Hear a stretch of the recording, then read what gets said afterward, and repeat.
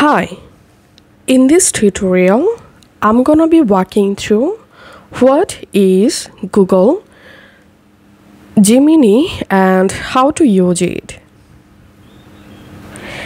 So Google recently released this artificial intelligence called Gemini and Google advanced AI model Gemini is now accessible on iOS devices. Gemini integrated into the Google app can answer queries, generate images from text prompts and interact with photos. With this AI generation, ease of access and advanced AI experience, Gemini enhances the standard Google search capabilities on iPhones. And here's how you can get and use Gemini on iPhone. First of all, go to your App Store and search for Google.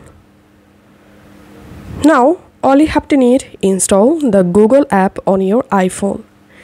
Once it's installed, go ahead and launch the Google app on your iPhone. Once you are in Google app home screen, at the top of this page here, you will see these Google option and another is Gemini. So to enable Gemini in Google app, just tap on Gemini icon and you are good to go. You are now in Gemini home screen. So after updating your Google app to the latest version, you can easily access Gemini by toggling a switch at the top of the screen. This switch allows users to alternate between Google search and Gemini like this. Okay, once you are in Gemini home screen, tap on this uh, type or talk or prompt box and here you can easily ask any question to Gemini.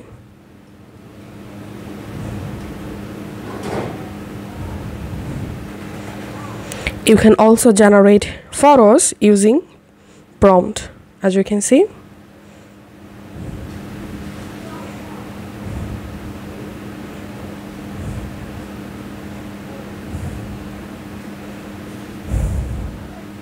So this is how we can get and use Gemini in iPhone. If this video helped you out please leave a like and leave a comment down below Thank you for watching.